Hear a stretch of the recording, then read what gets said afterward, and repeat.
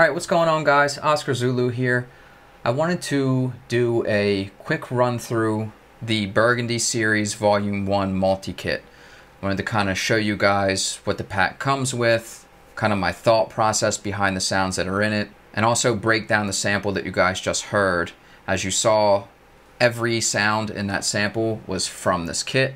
All the effects sounds, all the drums, the drum loop, everything is from this kit. So the main idea behind this kit was to give you guys stuff that you can't get from VSTs, right? So I didn't spend a whole lot of time trying to make one shots. I feel like the VSTs that are out there emulating analog gear are really, really great. And so most of the time they sound better than analog one shots in my opinion. So rather than loading you up with a bunch of one shots that you wouldn't use i thought it would be a lot better use of my time and your money to get stuff that you can't get from vsts so i recorded a lot of phrases and loops and arpeggios and effects sounds and these are sounds that are harder for vsts to emulate and sound better coming from a real analog synth.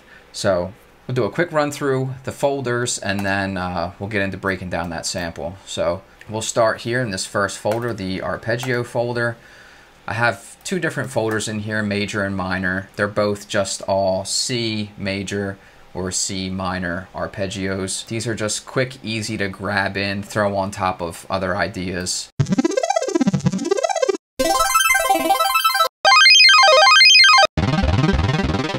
Those are some of the arpeggios. Again, nothing crazy. The second thing we have here are chords, and the reason I made a dedicated chord folder, there always are a couple really great sounds from The Prophet that sound really good as chords, but when you bounce them as one shots and play a chord with them, it just doesn't sound as good. So I recorded some of those. Again, just C major and C minor. Each sound has a major version and a minor version.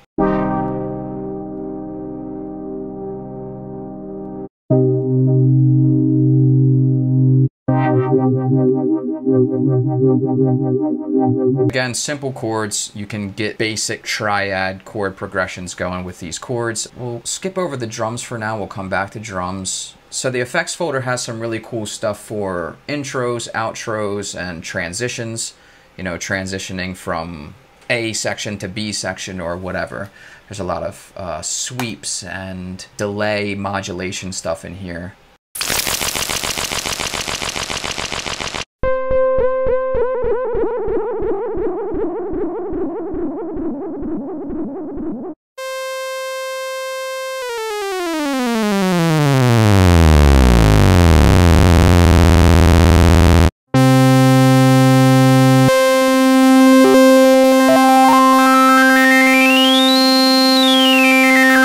So again, a lot of kind of really harsh analog sounds that are harder to get from VSTs. We'll jump to the one shots folder and then we'll talk about the loops and phrases. I have some bass stuff that is similar to that last folder where I played the bass note and held it out for a long time and messed with either like a sync knob or a cutoff knob and just gave some really cool variations to the basses that again are harder to get in VSTs.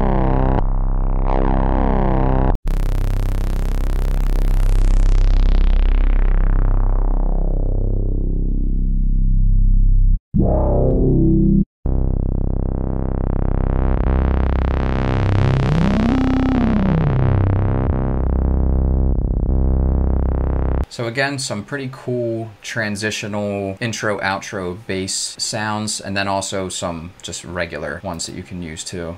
So here we are in the synth folder, and again, both of these folders are kind of short and concise. Didn't do a whole lot in here because of the reasons that I've already mentioned, but there still are some nice sounds in here.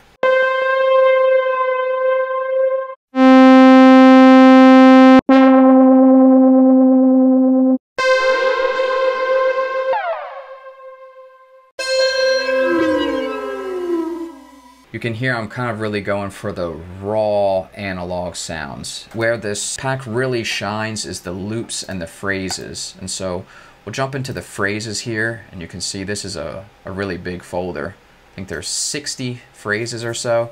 And these are short little fragments of ideas, you know, me plucking around on the synth through the pedals and recording it, and you can layer a bunch of these. I mean, I've made entire samples out of just these little phrases. So we'll run through a couple of these.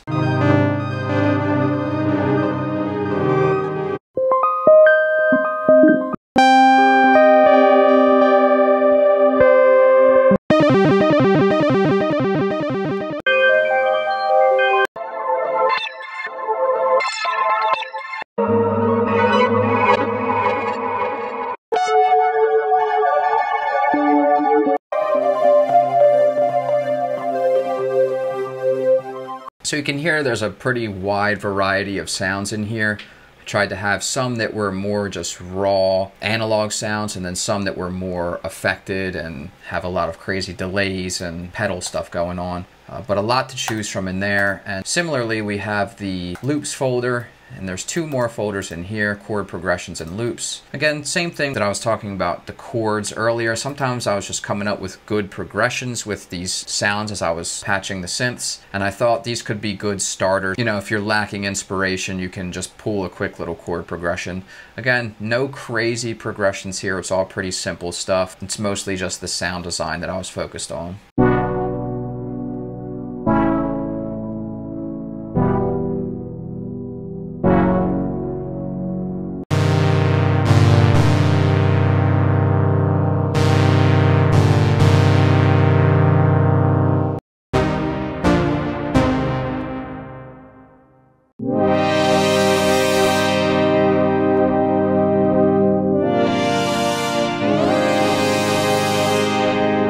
Some simple chord progressions, and then we have loops. And this is kind of a mix between the phrases and the chord progressions. These were ideas that I was coming up with as I was sound designing, and I think most of them have kind of chords and a top line melody, and that's why they have kind of their own dedicated folder in this loops folder.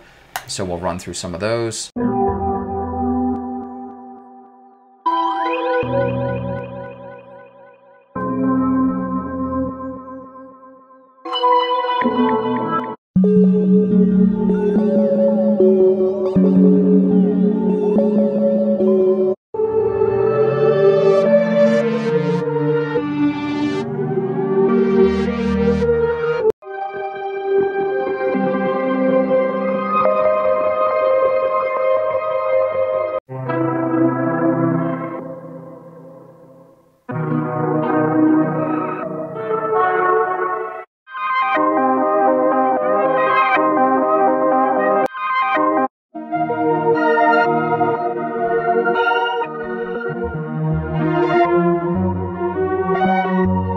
So again, similar to the chord progression folder, you can come in here, look for inspiration, chop those up into smaller phrases, you know, whatever you want to do. But I thought between the phrases, chord progression, and loops folders, you can pretty much make entire ideas. And then you just need maybe one bass or a couple one shots to kind of hold the melody together. And then you have your effects and your arpeggios to add on top of it for even further ear candy. So that's all of the synth sounds. Let's get into the drum folder. We have 808s here, and I think 8 out of the 10 of them were actually started from the Prophet. I tried to get a little bit more experimental, but still throw some uh, really good, useful ones in there as well. Kind of like I did with the whole pack. There's some really experimental stuff, but also some really useful stuff.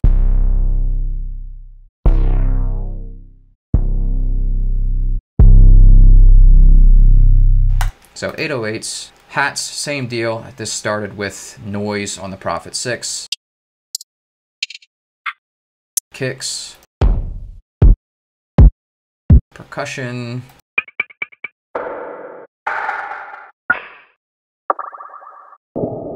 The snare folder is kind of cool because I did make some experimental snares. I also chose some kind of go-to snares for myself and ran them through tape and really, really hit it hard on the tape.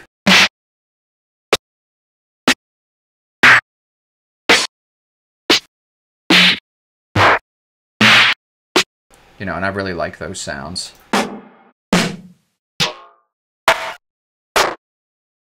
So some decent snares in there. I really, really like the tape snares. I've been using them a ton since I made them. Where the drum section really shines is this live loop section. Air quotes live loop. I didn't actually play these drums live, but it's a live drum kit sound and I put together a bunch of different loops and a couple of different drum sounds and effects and so there's some really cool stuff in here to add to those transitions, intros, outros, kind of like a lot of the stuff in the pack.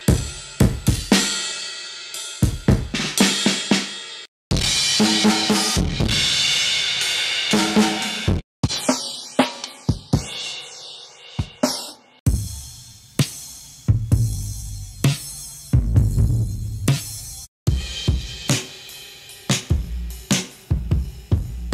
like with everything else, tried to give some really useful things that could be used over and over, and then try to give some more experimental things. Again, that's kind of the idea behind this whole pack is give you things that are easy to use. You can just drag in a couple sounds from this pack and have a, a, a completed sample or beat with very little effort.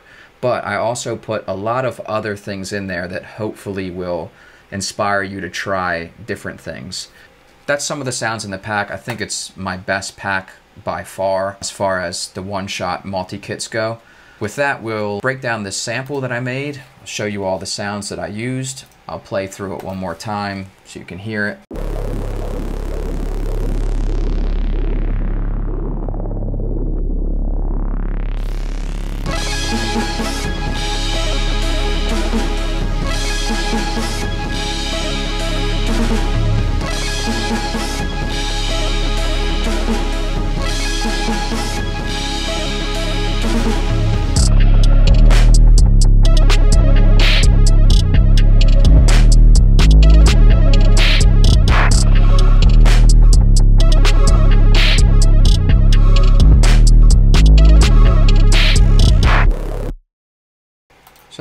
Top sound we have here is from the effects folder.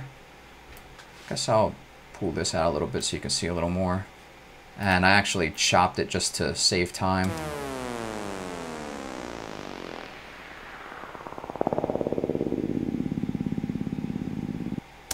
You know, very simple, but you put it over this bass.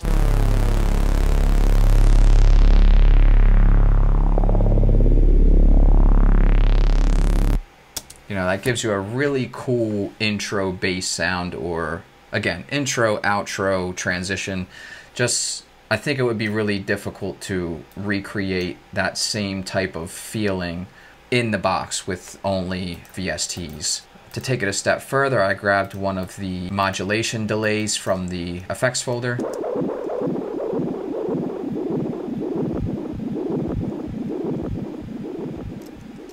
and then another one actually here as like a transition.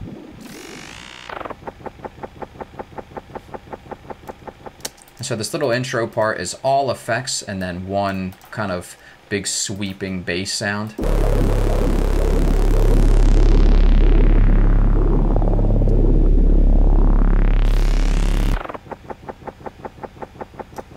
And then we have this bass here is it's the same bass, but I put an EQ on it. The EQ is just taking out the top end, so it's more of just like a sub now.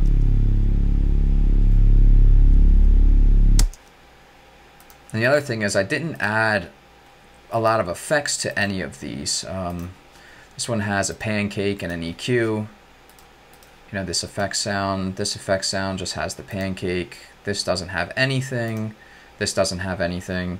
And this bass at the start doesn't have anything. So the only thing really being affected here is the panning and a little EQ on this one effect sound. Then we have this bass that just has an EQ.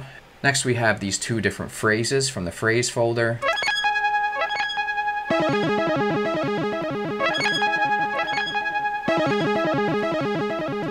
Just going back and forth between a high phrase and a low phrase. Nothing but an EQ boosting some highs on the high one, and then just an EQ, you know, kind of doing the same thing on the low one.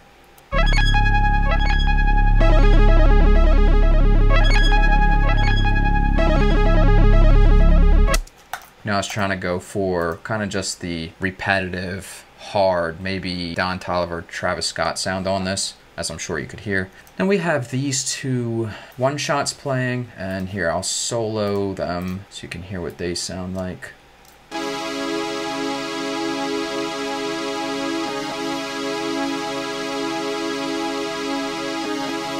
Very simple. I'll have this one. Just some high end, and there's no effects on that one. And then on this one, we have some EQ really boosting those highs, and then a micro shift for some chorus. So again, there's not really much sound design going on in here. I'm just kind of trying to make all of the pieces fit together. These sounds are basically completely raw. And then we have this drum loop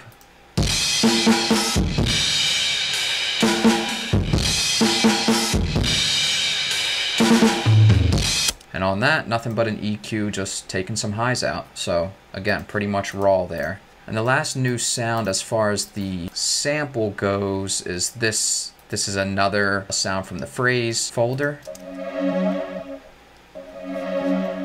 then on the second half, I just pitched it up an octave. and Logic kind of messed up the stretching when I pitched it up, but I liked the way that it sounds, so I left it. And on that, all we have is a micro shift and an EQ boost and some highs again. You know, this is also when the drums come in, so I will open Maschine. This is where I do my drums. You can see these are all Oscar Zulu drums.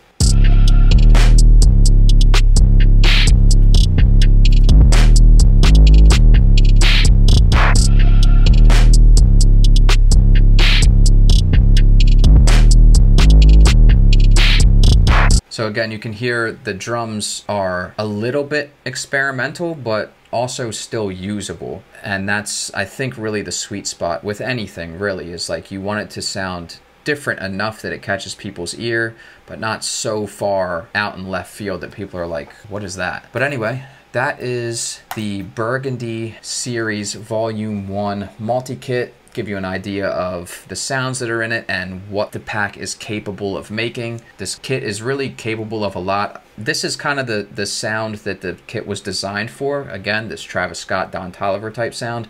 But I've made a lot of different sounding beats. I've been posting them on my Instagram, on my stories. So it is capable of doing a lot more than just this sound, but this sound is kind of what it's tailored for. If you like the kit, go grab it. It's on Drum Broker and want to thank you guys for watching and thanks for the support.